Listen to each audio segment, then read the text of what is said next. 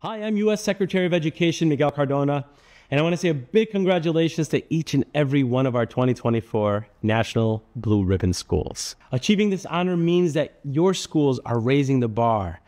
Thanks to your amazing educators and students, it means that your school is the pride of your community and the model for schools across the nation.